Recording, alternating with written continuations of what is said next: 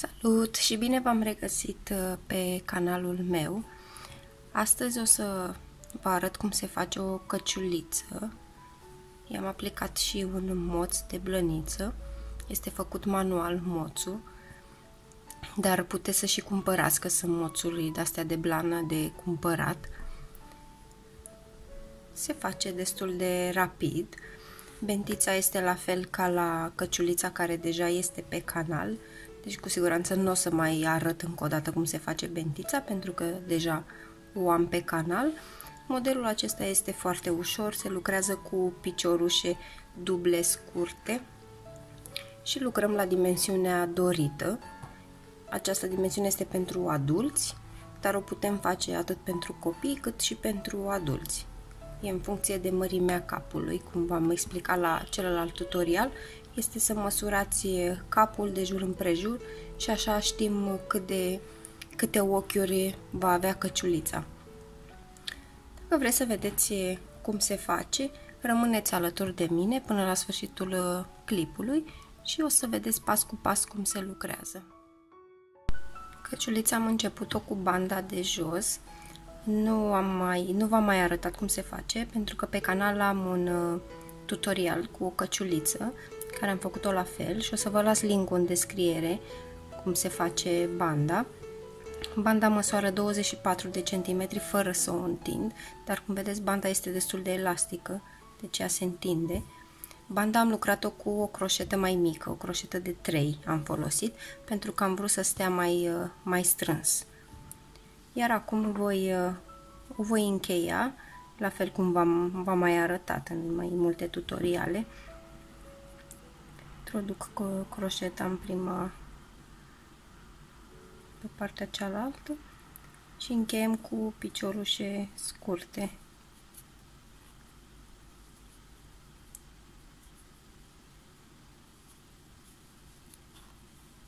Și piciorușe scurte până ajungem la sfârșit. V-am zis, puteți încheia în diferite forme. Mie îmi place să închei așa bentițele la căciuli.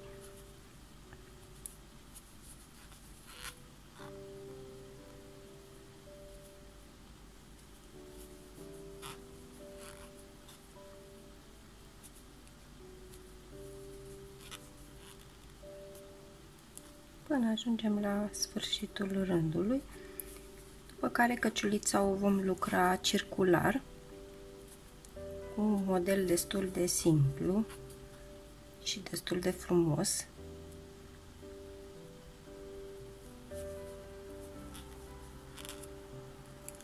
Terminat. Întoarcem banda cu cusătura pe interior. Acum vom face două piciorușe, două ochiuri de lanț și vom lucra cu piciorușe duble, scurte, în fiecare spațiu care au rămas aici, unde am fiecare rând pe care l-am făcut, vom face câte un picioruș mic dublu.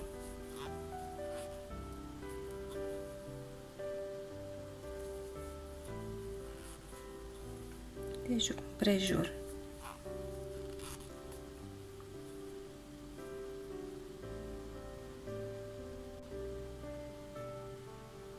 Ajuns la sfârșitul rândului. Cum v-am zis, lucrăm circular, nu o să închei rândul. Vreau să vă arăt. S-au format aceste veuri da, pe partea de sus. Noi vom lucra, dăm după Andreea, că v-am zis că lucrăm cu uh, piciorușe scurte duble.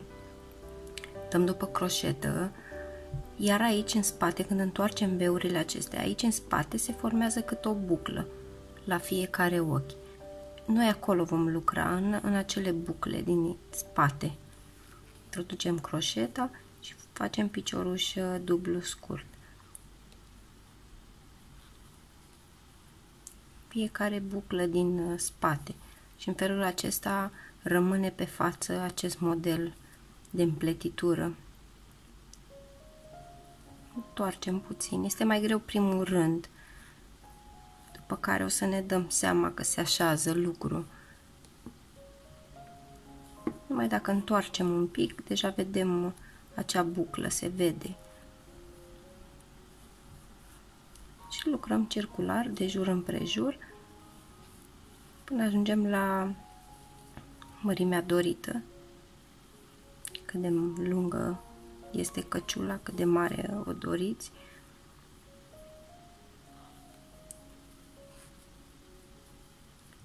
Se lucrează destul de ușor. Da? Deci partea din spate. În momentul în care ne uităm așa și întoarcem foarte puțin, deja se vede bucla din spate.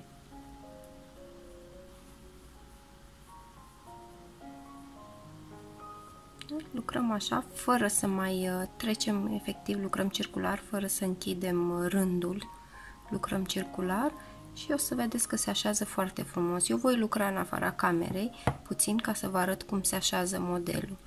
Și ne vedem. Ia uitați ce frumos se așează.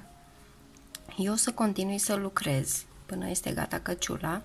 O să o închei Uh, nu o să vă mai arăt cum o închei pentru că deja aveți tutorialul pe canalul meu. Cum v-am zis, o să vă las linkul în descrierea videoului. Uh, după care o să vă arăt cum uh, se pune moțul, că eu o să-i pun moț la căciulă. Bineînțeles, dacă nu vă place cu moț, o puteți lăsa și fără.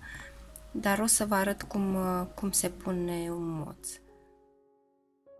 Eu am terminat căciula, am încheiat-o aici sus cum v-am arătat în celălalt tutorial. Acum ce o să fac este cu ajutorul unui ac, o să ascund și o să fac câteva întărituri aici pe partea din de dos ca să fiu sigură că nu se va desface căciulița.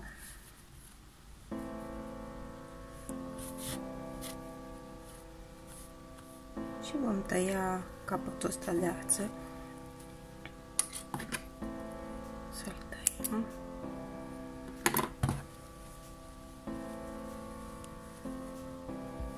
Și așa arată căciula. Cum v-am zis, eu uh, vreau să-i pun uh, un moț. Am făcut un moț dintre acesta de plăniță.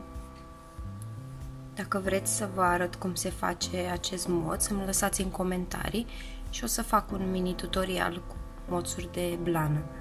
I-am lăsat capetele mai lungi Uh, după cum știți, moțurile acestea uh, eu le pun, nu le fixez de tot, le fixez cumva pe dos cu o funtiță, un nod, cumva ca să se poată de, în momentul în care o spălăm, să dăm moțul jos, pentru că se strică blana la spălat. Nu neapărat că se strică, cât uh, nu o să mai fie așa forma aceasta. Și atunci mai bine evităm și o dăm jos când, când spălăm căciulița.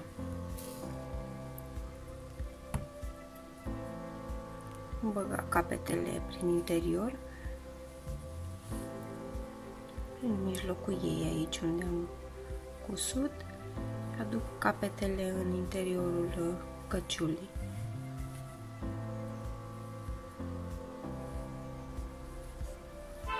Acum ce ce fac eu de obicei este un nod și o funtiță și îl las așa.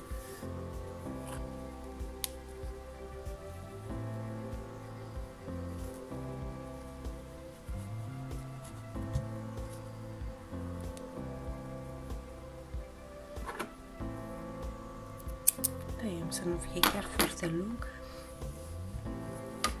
Și așa arată. Este bine prins, adică nu o să se desfacă iar în momentul în care o să spălăm căciulița, îi doar desfacem uh, puntița care am făcut-o.